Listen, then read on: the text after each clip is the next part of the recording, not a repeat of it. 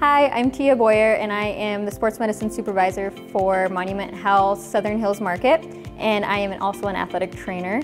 Athletic trainers are highly qualified, multi-skilled healthcare professionals who work in collaboration and under the supervision of physicians. As part of the healthcare team, services provided by athletic trainers include primary care, injury and illness prevention, wellness promotion and education, emergency care, examination and clinical diagnosis, therapeutic intervention, and rehabilitation of injuries and medical conditions.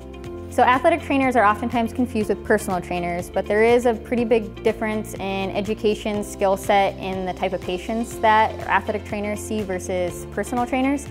So athletic trainers follow the medical model and they have to graduate from an accredited university and program and 70% of athletic trainers have master's degrees and they have to take a national board. Athletic trainers take care of all different types of patients and not just athletes in the sports setting and they work in clinics with the military, corporations, and in industrial jobs as well. Monument Health provides athletic trainers at South Dakota School of Mines, Black Hills State University, Chadron State College, and the following high schools. Belle Fourche, Spearfish, Lead Deadwood, Hulett, Sundance, Hill City, Custer, Rapid City Christian, and St. Thomas More.